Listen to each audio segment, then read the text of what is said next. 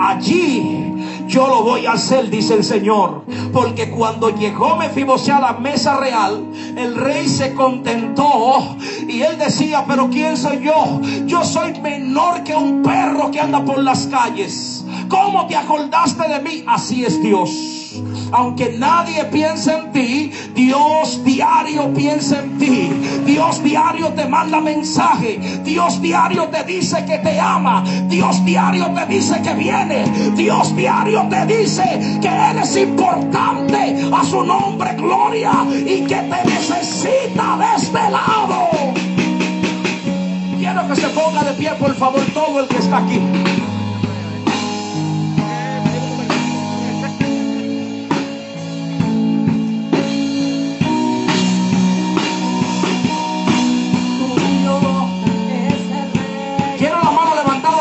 Amigos. Qué lindo, qué lindo, qué lindo, qué lindo.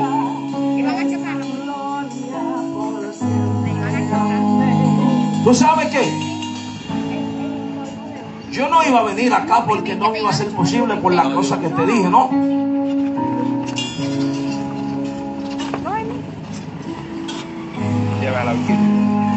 Y yo tengo un atareo de vida en estos días Pero Priscila me dijo, es una actividad que hay muchos amigos. Supuestamente yo necesitaba estar empacando para salir de viaje y yo escuché la palabra amigos. Y yo dije, aunque sea tarde, necesito estar en ese lugar. A mí me parece que a alguien Dios le ha dicho algo. Y yo creo que aquí hay personas importantes que hoy se paran de esa silla simbólicamente hablando. Y también salen de ese lugar llamado lo de bar. Se acabó el tiempo en donde usted quiere intentar algo y no puede, algo lo detiene. Hay una malicia de miseria ancestrales que te persiguen y por más que intentas superarte no puedes. Y por más ropa bonita que te pone, al tiempo vuelves y te ves fea, sucio, andrajoso. Hoy vine a recordarte que todavía hay esperanza. Y el rey vino a cambiar tu historia. El rey vino y te dijo, hoy te quiero en la casa real. Así que quiero ver los amigos, por favor, venir aquí. A su nombre, gloria. Venga aquí, amigo, por favor. Amigo, amigo, amigo. Si Mahoma no va a la montaña, la montaña va a Mahoma. ¿Sí o no? ¿No es así? Llega, amigo, llega. ¿Eh? Llega, llega, amigo. ¿Dónde están los amigos? Su manito al cielo. Qué lindo. Entonces vamos a hacer algo. Usted se acerca aquí para tener un conversatorio y yo entrego mi sermón, ¿ok? Yo terminé de predicar, ¿ok? Pero usted se puede acercar aquí o yo voy allá. Pero quiero hacer un conversatorio privado con ustedes. Con ustedes, un conversatorio acá. Qué lindo, qué lindo, qué lindo, qué lindo. Ah, muchas bendiciones. Véngale, tuya.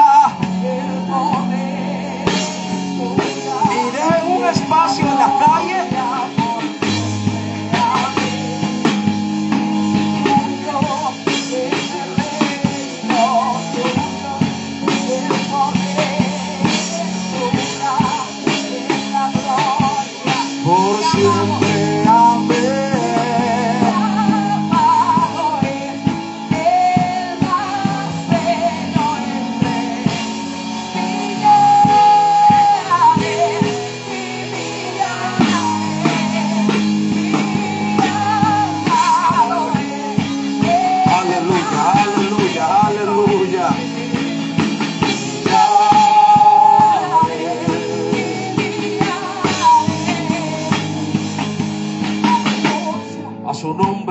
gloria.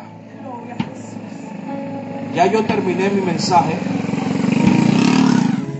Ahora quiero decirle algo. Denle un espacio en la calle a los vehículos que transiten, ¿ok? Amén. Allí viene uno detrás. Vamos a esperar que él pase. su nombre sea la gloria. Présteme atención a lo que le voy a decir.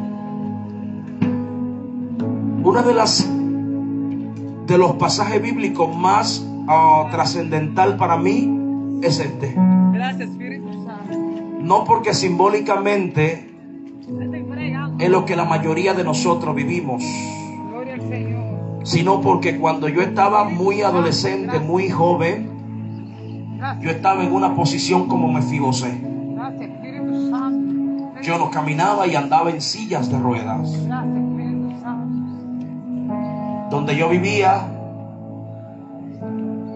o donde me crié era una de las zonas más prominentes con la hechicería. Y los demonios tenían atrapado mis posibilidades de yo caminar. ¿Por qué? Porque yo cuando empecé a caminar yo sí daba paso. Luego, por vía de la hechicería, perdí la posibilidad de caminar. Mi familia fue a donde brujos de toda clase. Y nada se pudo lograr.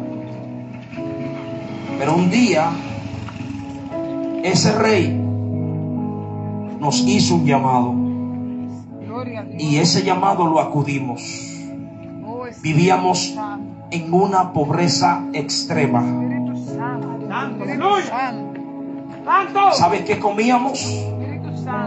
Comíamos lo que en el día mami encontraba en el mercado, que desde Villamella caminaba hasta el mercado y recogía lo más bueno que había en la calle.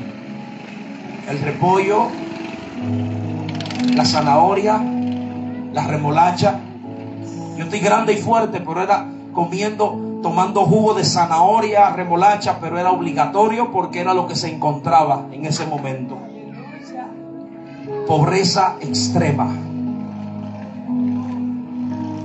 Y solo teníamos como aliado al diablo. Porque mi habitación era un altar a Satanás. Un día, una vecina ya difunta del frente nos hizo la invitación a ir a una iglesia. Y recibimos esa palabra y fuimos. Cansado de visitar muchos altares satánicos. Y hubo un hombre que vino de tierras lejanas y oró por nosotros y profetizó una palabra. ¡Aleluya! Desde ese día creyeron esa palabra. Desde ese día empezó a cambiar muchas cosas en mi casa. Desde ese día se abrieron puertas. Vinieron trabajos para mi padre, mi madre. Empezó a cambiar la situación. Con el tiempo mis piernas empezaron a cambiar diferente. Tanto así que ya mis pies no estaban podridos, putrefactos, porque botaban puse, tenían gusano. Y no me lo cortaban porque había esperanza todavía. Y de allí nos paró el Señor. Y había una mujer que es hechicera, todavía está viva, que pasaba diciendo, Él no va a caminar nunca. Y cuando empezamos a superarnos de esa situación, ella contrató un grupo de personas a mano armada y entraron y se llevaron todo. Lo único que quedó fue un sobre de café. Acá le dicen café Santo Domingo. En ese entonces no recuerdo cómo. Y quedó, pero no había cómo colarlo porque hasta la greca se llevan. ¿Sí me entiende? Eso pasa en lo de Val. Quiere superarte y no puede. Alguien te detiene. A mí me faltan como cuántas provincias para andar el país. Muy pocas. Un mensaje le dejaba a Dios y al enemigo que decía que yo no iba a caminar. He tratado de andar nuestro país completo diciendo que Dios sí lo puede hacer.